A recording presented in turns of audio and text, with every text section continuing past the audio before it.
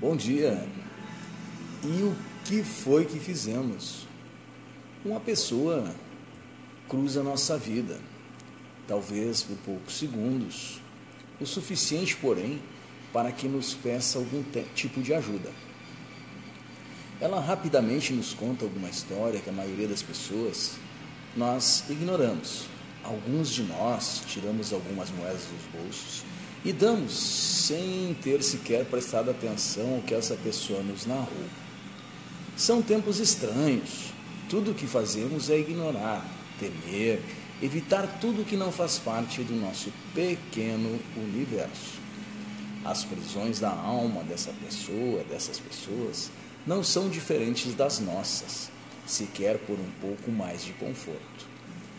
Uma vida cruza nossa e dessa vez nós a ouvimos. Está bem vestida, educada, nos aborda aparentemente sem pretensões e pouco em pouco nos tira a estabilidade, o apoio e nos leva naquilo que temos de mais valioso, o tempo.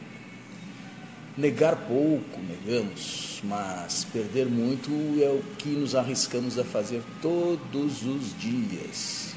Mas afinal de contas, o que foi que fizemos? Agimos com os reflexos com um e com interesse com o outro.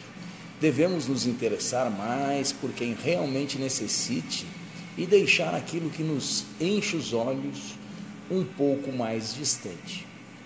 Às vezes, é só uma escultura de gelo que não vai caminhar ao nosso lado na estrada da felicidade, mas subirá em nossas costas até que caiamos e nos tornemos descartáveis. Caminhe ao lado de quem possa caminhar realmente com você. Não seja apenas uma condução. Boa manhã, boa semana. Eu vivo dizendo isso. Bom dia, Neri. Bom dia. Abraço a todos. Uma grande verdade essa reflexão de hoje do nosso irmão Marcelo Etienne. Bom dia a todos.